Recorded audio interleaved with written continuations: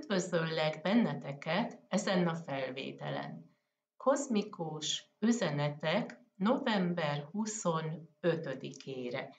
Ezek az üzenetek nem naponta jönnek, hanem akkor, ha látom a napi horoszkópban, hogy van valami fontos, amit szeretnék közölni veletek, és akkor ezek a videók megjelennek egy nappal előtte, hogy tudd azt, hogy mi várható a következő napon, akkor fel tudsz készülni bizonyos eseményekre.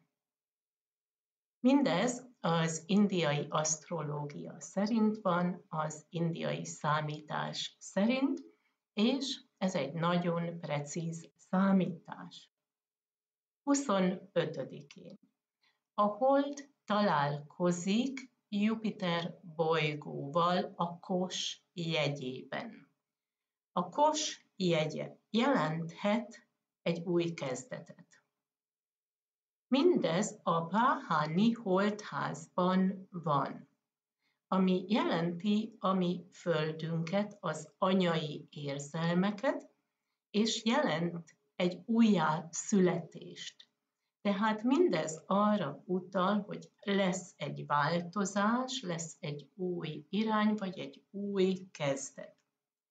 Jupiter bolygó szerencsét hoz, de Jupiter bolygó visszafele tekint. Emiatt kicsit még fékezi az eseményeket.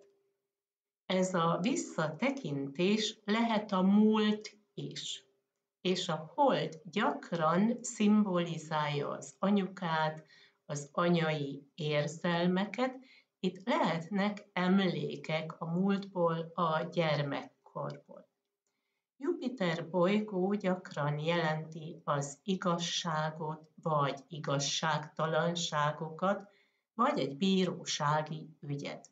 Mivel visszafele tekint, ennél a bírósági ügynél olyan lassan mennek előre a dolgok, vagy lehet, hogy vissza kellene tekinteni, még valamit átvizsgálni.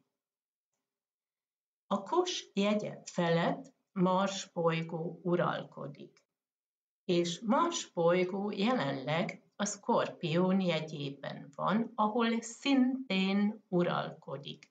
Tehát itt van kapcsolat a kos jegye, és a Skorpió jegyek között van kapcsolat, Jupiter bolygó és a Hold energiája és Mars bolygó között.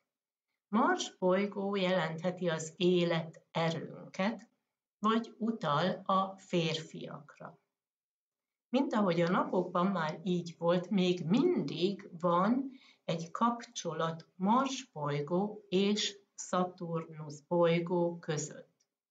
Ez nem előnyös, hiszen jelentheti a korlátozásokat, hogy nem mennek előre a dolgok, nehéz azt megvalósítani, amit mi elképzeltünk, vagy befektettük az életerőnket, és úgy érezzük, hogy nem mennek előre az események. Az is lehet, hogy egy férfi korlátoz jelenleg bennünket, hölgyeket, ez lehet valaki a családból, vagy a munkahelyen, de lehet a párkapcsolat is.